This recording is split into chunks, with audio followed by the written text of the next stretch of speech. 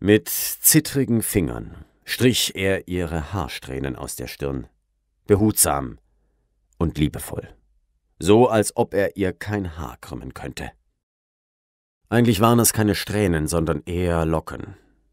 Nasse Locken, die sich mit Regenwasser vollgesogen und in die Länge gezogen hatten. Pechschwarz und schwer klebten sie auf der braunen Haut. Er hatte alle Mühe, die widerspenstigen Haare mit seinen Fingerkuppen zu bändigen, Immer wieder entzogen sie sich seinem Zugriff, kräuselten sich und fielen zurück in ihre alte Position. Aber anstatt sich zu ärgern, lächelte er milde. Wie schön sie doch war, dachte er bei sich, auch jetzt noch, nachdem sie bereits mehrere Stunden tot war. Noch einmal rückte er die tropfnassen Fichtenzweige zurecht. Dann schien sein Werk vollendet. Er erhob sich und trat einen Schritt zurück die Hände gefaltet, mit wie zum Gebet gesenktem Blick. Ein Schuss in der Ferne unterbrach seine Andacht und holte ihn in die Gegenwart zurück. Ein zweiter Schuss mit Kugelschlag, dieses Mal ganz in der Nähe, folgte unmittelbar.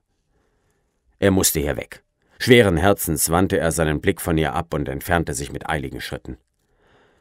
Er war bereits im Schatten einer tief betrauften Fichte untergetaucht, als er plötzlich innehielt Nachdem er einige Sekunden nachgedacht hatte, kehrte er noch einmal zurück.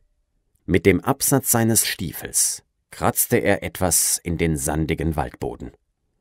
Danach machte er sich davon.